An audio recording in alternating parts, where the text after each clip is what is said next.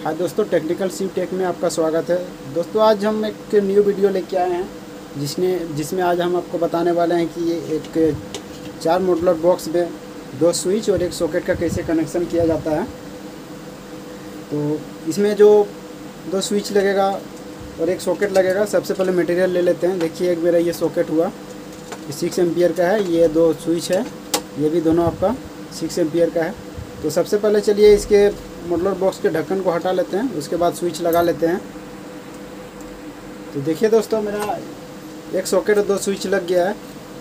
अब इसको हम कनेक्शन करते हैं। तो सबसे पहले दो वायर लेते हैं। वायर लेके आपको कनेक्शन करके दिखाते हैं कि कैसे कनेक्शन किया जाता है। तो देखिए, पहले हम डायग्राम से आपको बताते हैं ये आपका स्विच है। ये स्विच के नीचे ले वाले हिस्से जो टर्मिनल है, ये दोनों टर्मिनल इसमें आपका फ़ेज़ वायर लगेगा। और ये आपका अर्थिंग के लिए है, एक न्यूट्रल के लिए है और एक ये फ़ेज़ के लिए, ये सॉकेट में। तो सबसे पहले चलिए हम एक वायर लेते हैं रेड कलर का वायर लेंगे सबसे पहले और रेड कलर का वायर लेके कनेक्शन करते हैं। देखिए दोस्तों, एक वायर ले लिए हैं, इतना सा छील लिया है। अब इसके दो स्विच के दोनों निचले वाले टर्मिनल है। उस टर्मिनल को खोल के ये वायर को लगाते हैं। वायर को लगा करके फिर यहाँ से कनेक्शन किया जाएगा। देखिए दोस्तों, हम इसमें डायरेक्ट फ़ेज़ वायर इसमें स्विच में लग गया है। अब सॉकेट के लिए हमको फ़ेज़ लेना है तो इसके स्विच के अगले वाले टर्मिनल जो है, वहाँ से हमको फ़ेज़ लेना होगा। तो इसके टर्मिनल को हमको खोल लेना होगा। थोड़ा सा इसके स्क्रू को ढीला करना होगा। और चलिए इसको ढीला करके देखिए, एक वायर लगा दिए इसमें। ऊपर वाले हमेशा आउटपुट होगा आपका, ऊपर वाले वायर से ही आउटपुट होगा। तो देखिए दोस्तों, हम फ़ेज़ वायर का सॉकेट में कनेक्शन कर लिए हैं। अब इसमें जो एक बचा हुआ है इसमें एक स्विच में एक टर्मिनल पर स्विच के एक टर्मिनल पे जो बचा हुआ है उसको हम बॉल के साथ कनेक्ट करेंगे। तो बल्ब के साथ कनेक्ट करने के लिए सबसे पहले हमको एक बॉल्ब ले, होल्डर लेना होगा। होल्डर ले लेते हैं। और होल्डर में देखिए एक हम होल्डर ले लिए हैं। होल्डर में दो टर्मिनल है दो वायर लगा दिए। और ये देखिए मेरे पास रेड वायर नहीं है जिस कारण हम पीला को फ़ेज़ बनाएँगे। तो पीला वायर जो है दोस्तों, ये स्विच के ऊपर वाला टर्मिनल पे लगेगा, इस टाइप से। इस टाइप से ऊपर वाला टर्मिनल पे लगा देना है। और इसके स्क्रू को अच्छी तरह से प्रॉपर तरीके से इसको टाइट कर देना है।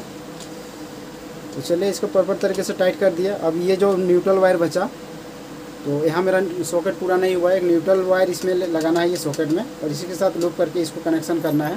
तो चलिए एक न्यूट्रल वायर ले लेते हैं। देखिए दोस्तों, एक न्यूट्रल वायर ले लिए हम। और न्यूट्रल वायर को इसमें सॉकेट के न्यूट्रल इससे लगा टर्मिनल से लगा देना है। टर्मिनल पर लगा के इसको टाइट कर देना है। प्रॉपर तरीके से टाइट करना होगा। ये अगर लूंज रहेगा तो शॉर्ट सर्किट होने का डर रहता है। और ये जो मेरा न्यूट्रल वायर बच रहा है तो इसको हमको जो बल्ब का न्यूट्रल है, उसके साथ कनेक्ट करना होगा। और कनेक्ट करके बढ़िया से प्रॉपर तरीके से कनेक्ट करके इसमें टेप लगा देना होगा। तो देखिए दोस्तों मेरा सॉकेट लगभग पूरा हो गया है, इसे बॉल का भी कनेक्शन हो गया है। ये जो न्यूट्रल वायर है सॉकेट के साथ जो न्यूट्रल है, उसके साथ लूप करके इसमें टेप मार दिए हैं। अब देखिए, ये मेरा सॉकेट है, ये दो स्विच है, और ये जो मेरा दो वायर देख रहे हैं, ये मेरा न्यूट्रल फ़ेज़ है।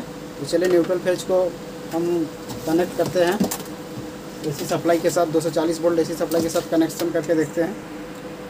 देखिए दोस्तों, मेरा कनेक्शन तो पूरा हो ही गया है। अब देखिए, हम बल्ब होल्डर को लगा करके आपको दिखा रहे हैं। ये मेरा बल्ब होल्डर लगा हुआ है। कनेक्शन भी हो गया, ये मेरा सॉकेट है। तो चलिए हम पलट के दिखाते हैं। ये देखिए मेरा सॉकेट ये स्विच है। ये ये जो आपका स्विच है, ये आपका सॉकेट के लिए है और ये स्विच जो है आपका बल्ब के लिए है। तो चलिए सबसे पहले हम देखते हैं बल्ब जला करके। तो देखिए दोस्तों, मेरा बल्ब जल गया है। इस तरह से आप कनेक्शन कीजिएगा और ये स्विच सॉकेट के लिए तो चलिए देखिए, इसमें भी हम टेस्ट करके देख लेते हैं। तो देखिए, इसमें भी फ़ेज़ वायर आपका फ़ेज़ आ रहा है। तो हमेशा देखिएगा दोस्तों सॉकेट के राइट साइड में फ़ेज़ आना चाहिए और लेफ़्ट साइड में इसका न्यूट्रल आना चाहिए। तो कनेक्शन करने के टाइम ये ध्यान रहेगा। और ध्यान रखना होगा आपको कि हमेशा लेफ़्ट साइड में आपका फ़ेज़ वायर रहना चाहिए सॉकेट के। तो चलिए दोस्तों, इस टाइप से कनेक्शन कीजिएगा, कोई भी आपको दिक्कत नहीं होगी। अगर मेरा वीडियो आपको अच्छा लगे तो मेरे वीडियो को लाइक सब्सक्राइब कर दीजिएगा दोस्तों बेल आइकन को पूछ कर दीजिएगा, जिससे मेरे आने वाले न्यू वीडियो का नोटिफिकेशन आपको मिलता रहेगा। मेरा वीडियो देखने के लिए थैंक यू दोस्तों।